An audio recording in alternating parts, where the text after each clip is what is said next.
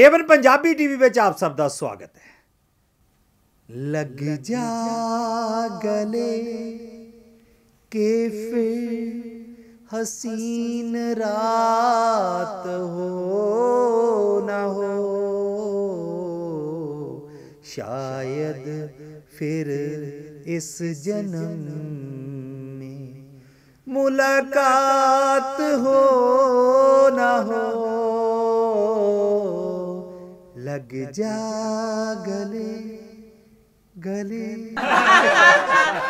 ਦੋਸਤੋ ਬੜੀ ਤਰ੍ਹਾਂ ਅਜੀਬ ਤਰ੍ਹਾਂ ਦੇ ਵੀ ਵਿੱਚ ਮਤਲਬ ਗੱਲਾਂ ਬਾਤਾਂ ਹੁੰਦੀਆਂ ਨੇ ਇਹ ਗੀਤ ਜਿਹੜਾ ਇੰਨਾ ਸੀਰੀਅਸ ਹੈ ਮੈਂ ਕਿਉਂ ਗੁੰਗੁਣਾਇਆ ਦਰਅਸਲ ਹੋਇਆ ਇਸ ਤਰ੍ਹਾਂ ਕਿ ਵਸੁੰਧਰਾ ਰਾਜੇ ਜੋ ਕਿ ਰਾਜਸਥਾਨ ਦੇ ਸਾਬਕਾ ਮੁੱਖ ਮੰਤਰੀ ਰਹੇ ਨੇ ਮੈਡਮ ਉਹ ਜਦੋਂ ਰਾਜਸਥਾਨ ਦੇ ਵਿੱਚ ਸੌ ਚੁੱਕ ਸਮਾਰੋਹ ਤੇ ਪਹੁੰਚੇ ਤਾਂ ਕਾਂਗਰਸੀਆਂ ਦੀਆਂ ਅੱਖਾਂ ਅੱਡਿਆਂ ਦੀਆਂ ਅੱਡੀਆਂ ਰਹਿ ਗਈਆਂ।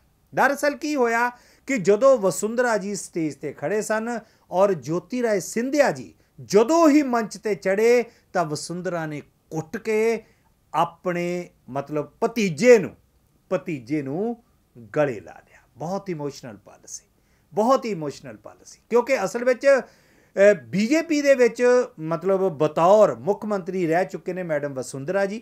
ਔਰ ਜੇ ਆਪਾਂ ਕਾਂਗਰਸ ਦੀ ਗੱਲ ਕਰੀਏ ਤੇ ਜੋਤੀ ਰਾਏ ਸਿੰਧਿਆ ਜੀ ਜਿਹੜੇ ਨੇ, ਉਹ ਕਾਂਗਰਸ ਪਾਰਟੀ ਦੇ ਔਰ ਰਿਸ਼ਤੇ ਵਿੱਚ ਦੋਨੇ ਭੂਆ ਤੇ ਭਤੀਜਾ ਲੱਗਦੇ ਨੇ। ਲੇਕਿਨ ਕੁਝ ਇੱਕ ਤਸਵੀਰਾਂ ਕੈਮਰੇ ਵਿੱਚ ਕੈਦ ਹੋਈਆਂ ਨੇ, ਵੇਖੋ ਤੁਸੀਂ ਵੀ।